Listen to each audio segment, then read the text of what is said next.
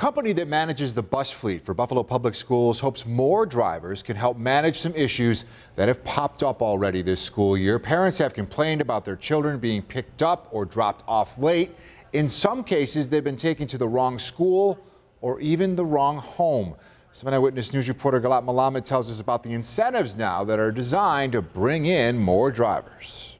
School ended at 3.30 and they were still sitting at school at 5 o'clock. Vanetta Rhodes OC says this was not the first time first student picked up her son from school late. Two other times, 5.15. It's happened about five times this year. She says when the school's vice principal called for a student to ask where the bus was, they told him this. And when their drivers are absent or have delays, that um, that just they just the children just have to wait. An answer she says is unacceptable, and first student agrees, saying the company knows its service this year is not what the community deserves all because there aren't enough drivers. There is a nationwide driver short, school bus driver shortage, and really, it's not even just school busing, it's anything that requires a CDL. First student spokesperson Chris Kemper says the decades low unemployment rate has made it harder to recruit and retain drivers, so it's rolling out a new plan. That includes up to $3,000 in signing bonuses. Hourly wages will be raised as well,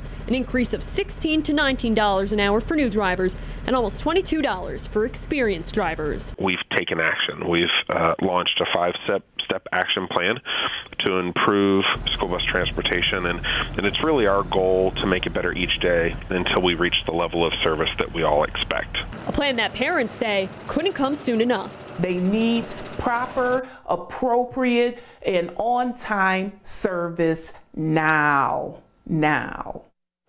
Another part of First Student's plan is bringing in 15 drivers immediately from other areas. About 5 to 10 of its over 600 Buffalo public school routes are missing drivers, which puts a strain on the other drivers. For more information on applying to these jobs, click on this story on our website, WKBW.com, or on our Hiring 716 homepage. Gilad Malamed, 7 Eyewitness News.